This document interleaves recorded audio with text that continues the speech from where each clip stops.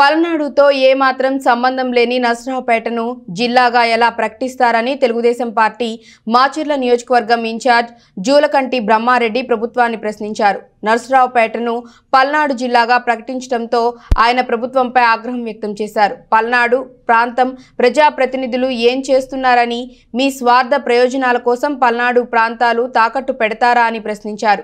ఇప్పటికైనా వైసీపీ నాయకులు కళ్ళు తెరిచి గురజాల కేంద్రంగా పల్నాడు జిల్లాగా ప్రకటించాలని చెప్పారు.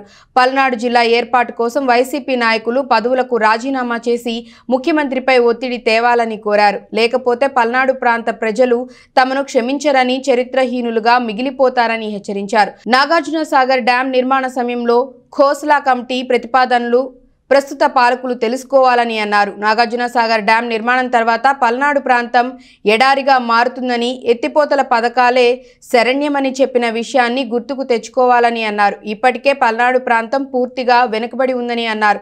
అధికారులు పల్నాడు ప్రాంతంలో విధులు నిర్వహించాలంటే జంకుతున్నారని దీనికన్నా మన వెనుకబాటుతనానికి నిదర్శనం ఏముంటుందని ప్రశ్నించారు. పల్నాడు ప్రాంతం అభివృద్ధి పదంలో నడవాలి అంటే జిల్లాగా ప్రకటించాలని లేకపోతే అన్ని పార్టీలతో కలిసి పెద్ద ఎత్తున ఉద్యమం ఉద్యమాలు చేస్తామని హెచ్చరించారు.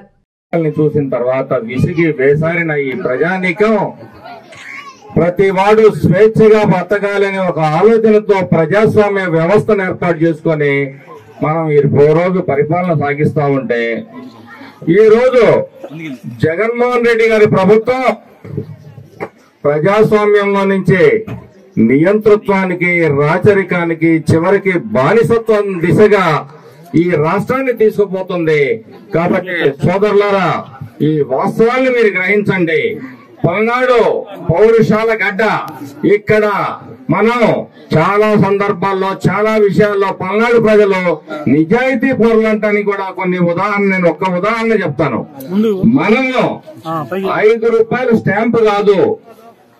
అర్ధన తెల్ల కాగితం మీద మనం పొలం అమ్మిన పొలం కొనుక్కున్న రాసుకొని ఆ సంతకాన్ని గౌరవించి మన తాతలు తండ్రులు అంత నిజాయితీగా వ్యవహరించిన ఈ పల్నాడు ప్రాంతంలో మరి అవినీతి రాజ్యం వెళ్తా ఉంది.